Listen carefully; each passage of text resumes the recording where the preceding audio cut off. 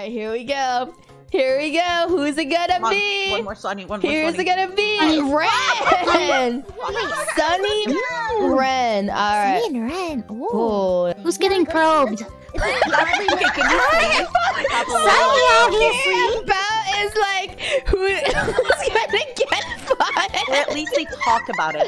I want Sonny to be like, "You're, you're not gonna probe me, right?" And Ren's like, "Nah, that's out loud, out, outlawed." Like five hundred years ago, baby. No. What the fuck? No. He's gotta take it in the butt. What are you talking about? Oh, that's your coworker. Yes. This is alternate universe. I don't know these people. He discovers like Valentine's Day for the first time, and he like sends uh, Sonny like a little love letter, but he doesn't write his name down. Sonny like He want he's really affected, but he's like unsure about like like customs and how things should be done. You know, he's like, "What is Valentine's Day?" But I, I think Ren should be pregnant. it's an alien. Yeah, you can definitely get pregnant. Oh my god, he's like a seahorse. Are you oh, preaching? Are you Yeah. preaching Mpreg right now? of you Yeah. Male prey. Em- I'm not even into that, but I feel like it should happen here. He's not even into that. Yeah, he says. seahorses do that.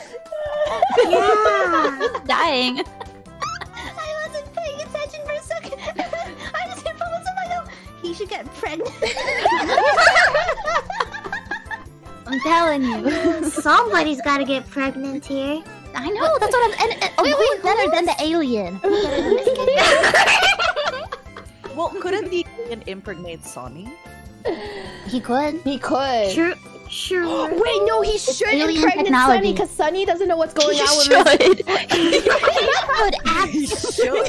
no, because it's perfect. Like I, I don't know. apologize to Sonny for the Open up his tag. This is gonna be